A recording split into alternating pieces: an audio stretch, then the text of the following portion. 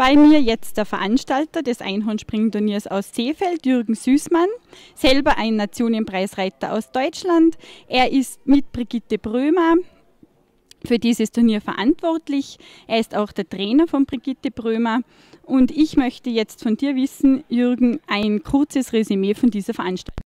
Dankeschön. Äh, jetzt erstmal, ich bin nur Mitveranstalter. Die Brigitte macht äh, einen Großteil der Arbeit und äh, wir sind sehr zufrieden. Wir haben ein super Team, ein kleines Team, ähm, aber wir haben wie ein Zahnrad funktioniert.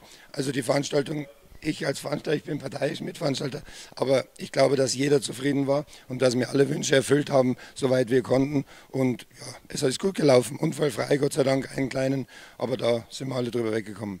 Ja gut, das ist natürlich sehr fein, dass ein Turnier ohne große Probleme abläuft. Wird es eine Wiederholung nächstes Jahr geben? Bestimmt, wir sind äh, am Planen schon nach dem Turnier, vor dem Turnier. Wir versuchen, ähm, das wieder so schön aufzuziehen und sind jetzt eben am Vorbereiten schon oder am Vorplanen, dass die Termine stimmen etc. Das schauen wir.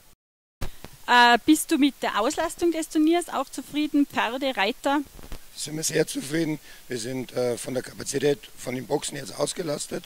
Wir hatten dieses Jahr nochmal einen großen Zuwachs zu letzten Jahr.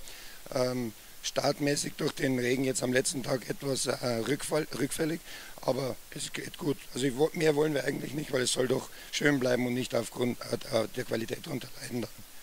Fein, dann ein erfolgreiches Plan in der nächsten Saison. Dankeschön, danke.